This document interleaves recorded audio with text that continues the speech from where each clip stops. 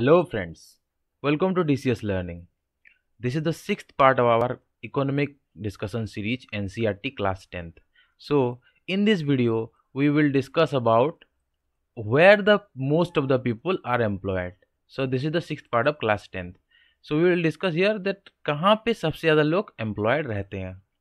So, अगर आप लोगों ने पिछले पार्ट्स को नहीं देखा है तो डिस्क्रिप्शन में लिंक्स है वहाँ पे जाके आप देख सकते हैं या फिर class tenth N T economic series का प्लेलिस्ट भी उस उसमें भी उसको ओपन करके आप देख सकते हैं। तो पहले उनको देखिए फिर उसको देखिएगा so that you will have a complete understanding of all the topics so let start तो सबसे पहले एक रिमार्केबल फैक्ट को देखते हैं कि इंडिया इंडिया में एक, एक चीज़ देखने के लिए मिलता है कि there has been a change in the share of three sectors of in the G D P but a similar shift has not taken in place of employment अब यहाँ पे देख सकते हैं यहाँ पे देखिए, पहले क्या होता था? ग्रीन मतलब primary sector then secondary sector मतलब ये yellow and this violet colour is tertiary sector so पहले 1973 के दौरान क्या होता था कि प्राइमरी सेक्टर एक्टिविटीज़ का जीडीपी में कंट्रीब्यूशन सबसे ज़्यादा होता था। देखिए, यहाँ पे share of sectors in GDP percentage में यहाँ पे बताया गया है।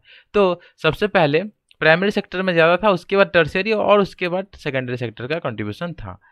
लेकिन आजकल क्या है? आजकल टर्सरी सेक्टर एक्टिविटी का कंट्रीब्यूशन सबसे ज़्यादा है देन प्राइमरी और देन सेकेंडरी प्राइमरी और सेकेंडरी लगभग सेम होते हैं। तो यहाँ पे देखिए, जो पहले जो जीडीपी और जीडीपी का शेयर था, अब का जीडीपी के शेयर में डिफरेंस हमको देखने के लिए मिलता है।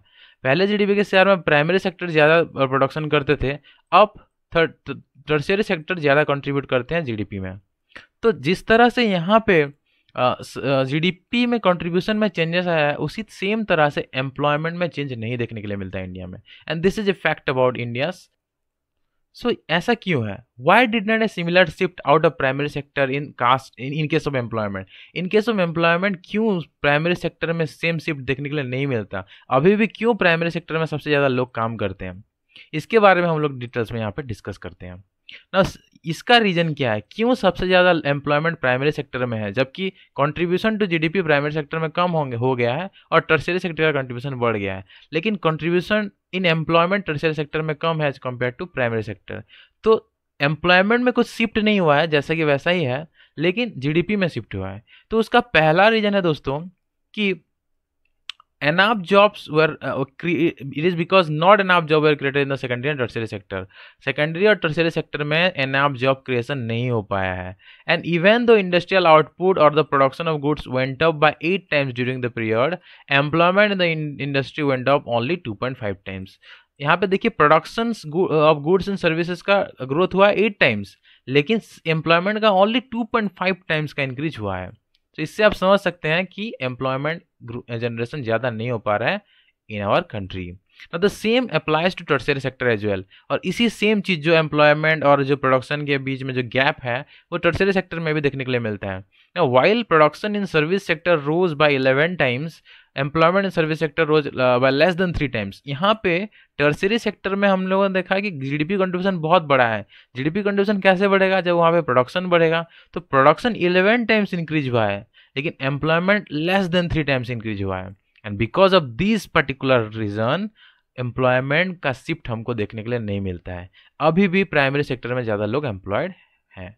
So next as a result क्या होता है?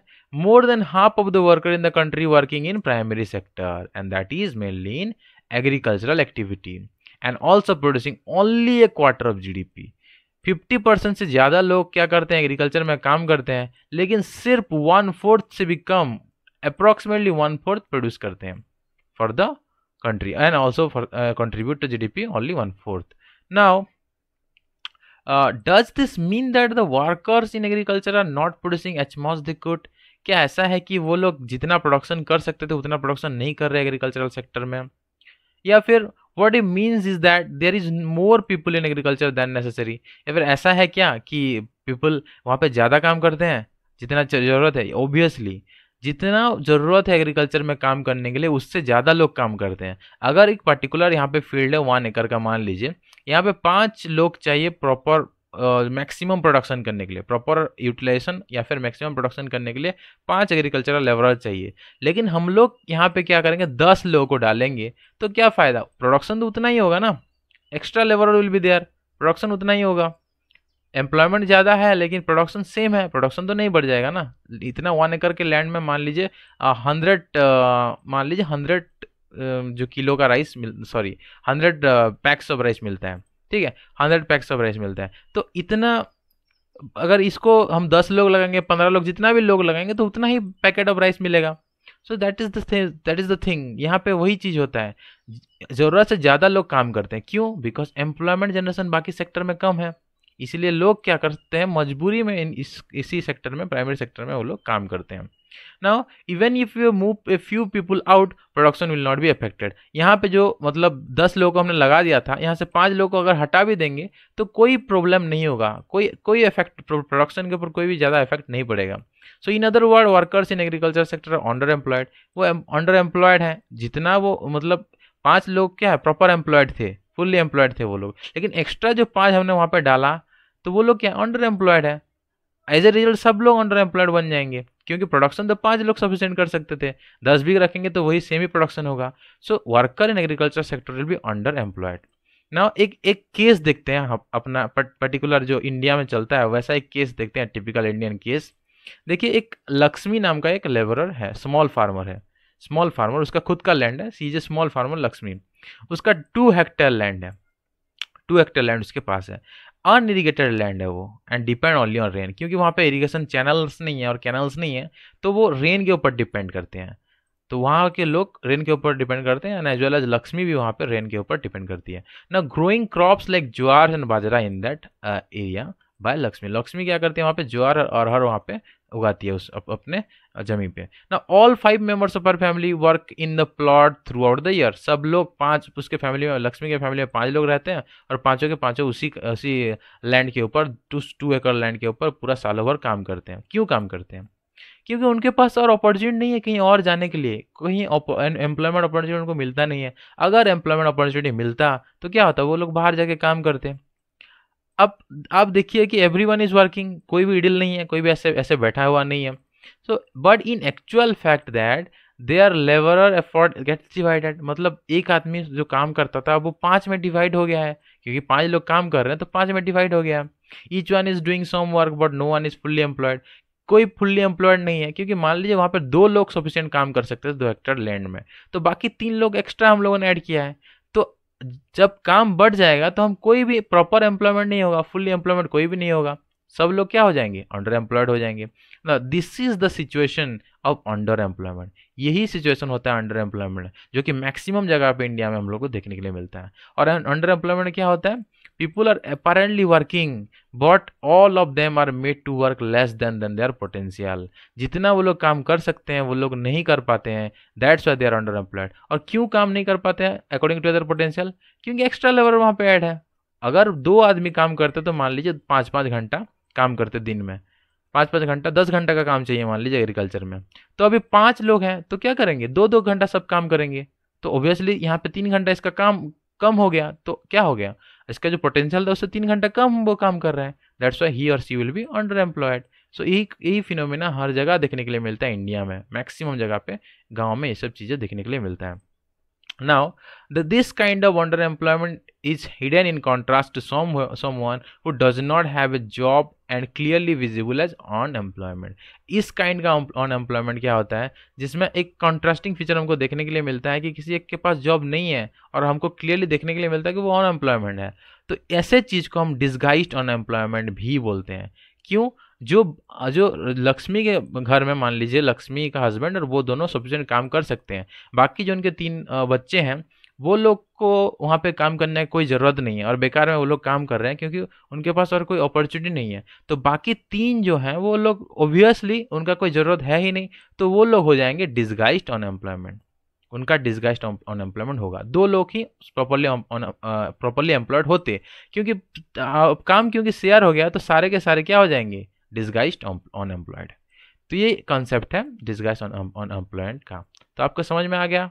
दिस कंसेप्ट अगर आपको समझ में नहीं आता तो आप कोई भी क्वेश्चन पूछ सकते हैं कमेंट सेक्शन में जाके, या व्हाट्सएप नंबर पे भी क्वेश्चन पूछ सकते हैं। ना आगे देखिए। Even if we remove a lot of people from agricultural sector and provide them with proper work elsewhere agriculture production will not suffer तो मैंने जो पहला वाला एग्ज़ाम्पल दिया था, जहाँ पे पाँच लोग काम करते थे एक एकड़ ज़मीन में, हम लोगों ने और पाँच डाल दिया था, उनमें से अगर पाँच को निकाल भी देंगे तो कोई ज़्यादा इफ़ेक्ट पड़ेगा नहीं। This income the incomes of people who take up other work would increase the total family income अगर वो कुछ और काम करते, जैसे कि लक्ष्मी का घर का मान लीजिए, लक्ष्मी का घर में क्या होता था, पाँच के पाँच वही सेम काम ही करते थे उसके घर में। अगर वहाँ के जो तीन अदर जो लोग थे, जैसे उसका बेटा और मान लीजिए दो बेटा, एक बेटी है, अगर वो तीनों बाहर कहीं पे काम करते तो उनको, उनका, उनको इनकम मिलता। जो लैंड से जो जो इनकम मिला था वो फिक्स्ड है ना। बाकी जो तीन लोगों को अगर एक्स्ट्रा इनकम मिलता तो एज ए रिज़ल्ट फैमिली का इनकम भी इंक्रीज होता। लेकिन ऐसा वो लोग नहीं करते हैं तो क्या होता है? फैमिली का इनकम इंक्रीज नहीं होता।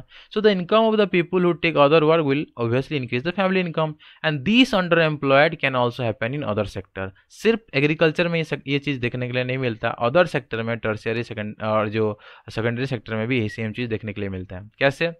There are thousands of casual worker in the service sector बहुत सारे कैजुअल डेली लेबर और सर्विस सेक्टर में देखने के लिए मिलते हैं अर्बन एरिया में। जो कि डेली एम्प्लॉयमेंट ढूंढते रहते हैं। आज ये काम किया, फिर दूसरा, उनको क्या बोलते हैं हम लोग? डेली लेबर और। तो वो लोग क्या करते हैं? डेली काम करते हैं डेली पैसा उनको मिलता है।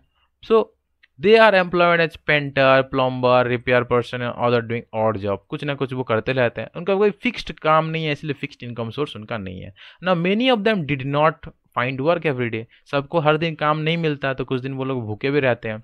Now, similarly, we see other people of the service sector on the street pushing cart, selling something where they may spend whole day but earn a very little. कुछ लोग हमने देखा होगा ऐसे ठेला गाड़ी में ऐसे बनाना या फिर एप्पल्स ऐसे कुछ ना कुछ बेचते रहते हैं कोई शर्ट पैंट भी छोटा मोटा बेचते रहते हैं। तो वो लोग गाँव गाँव घूम के या शहर में इस कोना से उस कोना को घूम के क्या करते हैं? फिर मार्केट एरिया में खड़े होके बेचते हैं। लेकिन बहुत पूरा दिन भर उनको स्पेंड करने के बाद भी उनको बहुत लिटिल अमाउंट ऑफ़ अर्निंग होता है। They now they are doing this work because they do not have better opportunity वो लोग क्यों ऐसा कर रहे हैं? क्योंकि उनके पास कोई और बेटर अपॉर्चुनिटी है नहीं। दैट्स वाई वो, उनको वो काम कर रहा है करना पड़ रहा है। तो they are obviously under employed और इसी चीज़ को हम लोग, अगर ज़्यादा लोग वो एक काम में इन्वॉल्व होते हैं तो उसको हम डिस्गाइज अनएम्प्लॉयमेंट भी बोलते हैं। तो इसमें हम लोगों ने पूरा समझा कि कहाँ पे ज़्यादा लोग एम्प्लॉयड हैं अनएम्प्लॉयमेंट का कंसेप्ट क्या है अंडर एम्प्लॉयड क्या है, और डिस्गाइज अनएम्प्लॉयमेंट क्या है। तो अगले वीडियो में हम लोग डिस्कस करेंगे कि हम एम्प्लॉयमेंट कैसे ज़्यादा क्रिएट कर सकते हैं? जो ये अंडर एम्प्लॉयड या फिर डिस्गाइज अनएम्प्लॉयमेंट का प्रॉब्लम है, उसको कैसे दूर कर सकते हैं? और उसके बाद हम लोग देखेंगे गवर्नमेंट को क्या क्या स्टेप्स लेना चाहिए। तो stay updated for the next part and अगर आप लोगों को वीडियो अच्छा लगता है तो प्लीज़ लाइक कमेंट भी कीजिए और दूसरों के साथ शेयर भी कीजिए। Thank you